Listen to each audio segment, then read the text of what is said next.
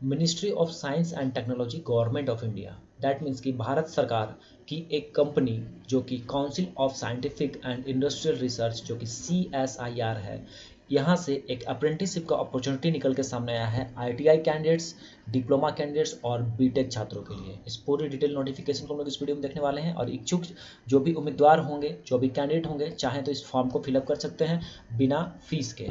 इस पूरी पीडीएफ का जो है आपको नोटिफिकेशन टेलीग्राम ग्रुप में मिल जाएगा डिस्क्रिप्शन में आपको लिंक मिलेगा। तो यहाँ पे आप देख पाओगे कि एडवर्टीजमेंट जो दिया गया है अप्रेंटिसशिप के लिए, सबसे पहले मैं आपको बता देना चाहता हूँ कि ये जो है एक साल की आपकी ट्रेनिंग होगी।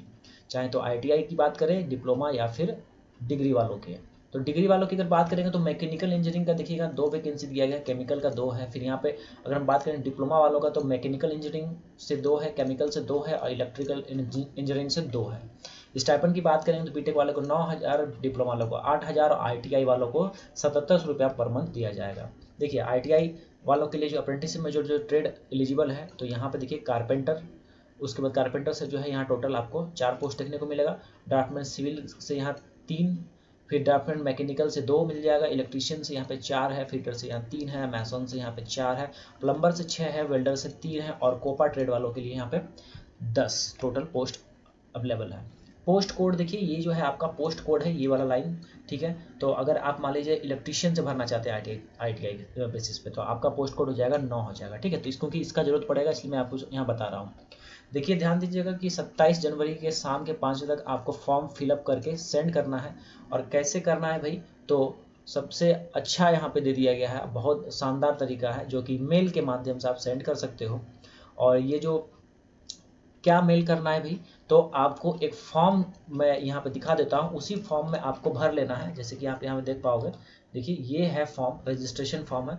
आप ये जो है एक्सेल सीट में ऑलरेडी कन्वर्टेड है तो आप यहाँ पे अपने फ़ोन से चाहेंगे तो यहाँ पे देखिए ब्लॉक कैपिटल में अपना नाम यहाँ पे टाइप कर दीजिए, जैसे कि जो भी आपका नाम है, यहाँ पे एंटर कर दीजिए। उसी तरह से यहाँ पे आप कौन सा ट्रेड के जो है आपका है हाँ तो यहाँ पे जैसे कि इलेक्ट्रीशियन फीटर ये चीज़ यहाँ पे एंटर कर दीजिए, लिख टाइप कर दीजिए, फिर यहाँ पे सारा, यहाँ पे आपको रजिस्ट्रेशन नंबर लिखना होगा, है ना? उस तरह से यहाँ पे सारा, आपको इस फॉर्म को भर लेना है, इस फॉर्म को पूरा फ़ोटो वोटो यहाँ पे लगा देना है, और इसको सेव कर लीजिएगा पीडीएफ के रूप में, और यहाँ पे आपको मेल कर देना है, ठीक है? तो देख लीजिए यहाँ पे मेल की आईडी ये है R P B D H R N E I S T at the rate Gmail dot com यहाँ पर आपको सेंड कर देना है। और देख पा रहे होंगे, देखिए fill the format and send the scan copy to mail ठीक है? चलिए, अब देखिए यहाँ पे एक बात और बता देते हैं कि आप जो मेल कीजिएगा तो उसमें जो सब्जेक्ट होगा, ठीक है, आप मेल करते हैं तो उसमें लेता है टू तो टू वाले में तो ये दे दीजिएगा, ये वाला मेल आईडी उसमें होता है सब्जेक्ट तो सब्जेक्ट में आपको क्या लिखना है? देखिए write the advertisement number and post number in subject of email अब यहाँ पे आपको सब्जेक्ट में लिखना है एडवर्टीजमेंट नंबर तो एडवर्टीजमेंट नंबर ऐसे लिख दीजिएगा देखिए यहाँ पर एडवर्टीजमेंट नंबर क्या है? मैं आपको बता देना चाहता हूँ देखिए ये वाला पार्ट आपको लिखना है। एडवर्टीजमेंट नंबर ये पूरा लिख दीजिएगा और जो पोस्ट कोड तो यहाँ पर लिखिए उस, उसके बगल में लिखिएगा पोस्ट कोड ठीक है? पोस्ट कोड कॉलम दे करके आप यहाँ पे जैसे कि इलेक्ट्रिशियन का भरना चाहते हैं पोस्ट कोड नौ नौ दीजिएगा प्लम्बर का तो बारह अगर मान लीजिए कोई डिप्लोमा का भरना चाहते हैं इलेक्ट्रिकल कलर का तो वहाँ पोस्ट कोड पाँच दे देंगे लेकिन एडवर्टीजमेंट नंबर सबका एक ही रहेगा।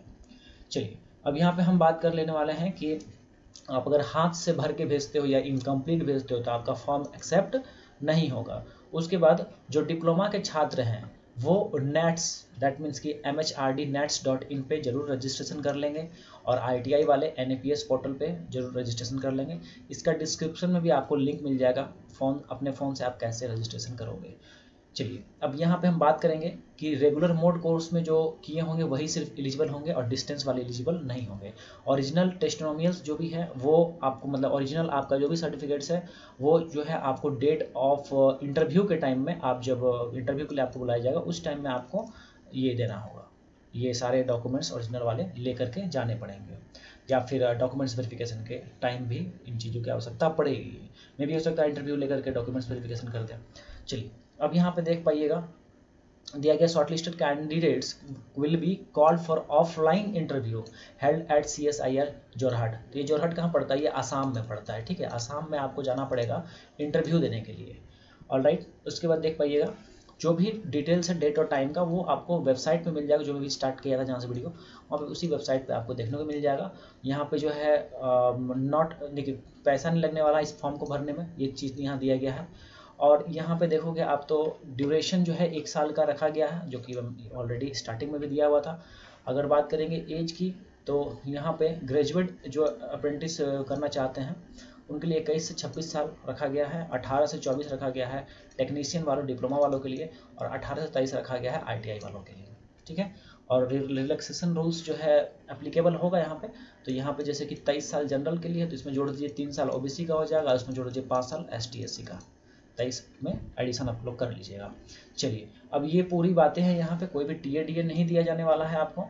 और, देखिए result waited candidate need not apply और जो जिनका रिज़ल्ट अभी तक नहीं आया है, वो अप्लाई ना करें। ये दे दिया गया यहाँ पे, ठीक है? तो देखिए, इस फॉर्म को आपकी इच्छा, आप चाहो तो फॉर्म फिलअप कर सकते हो। देखिए गवर्नमेंट ऑर्गेनाइजेशन है, आपको स्टाइपन वगैरह भी मिल रहा है, चाहे तो कर सकते हैं, कुछ नहीं हो, कर रहे हैं और कहीं नहीं हो रहा है तो आराम से भरिए। ऐसे और भी अपॉर्चुनिटी अवेलेबल है चैनल पे अपलोड किए हुए हैं आप लोगों को जो है, अगर आई के छात्र हैं तो आप रेलवे की अप्रेंटिसशिप अच्छी खासी आई हुई है अभी, आप अप्लाई कर सकते हो। एक का तो डेट पंद्रह तारीख को ओवर हो गया और बाकी सबका भी होने वाला है।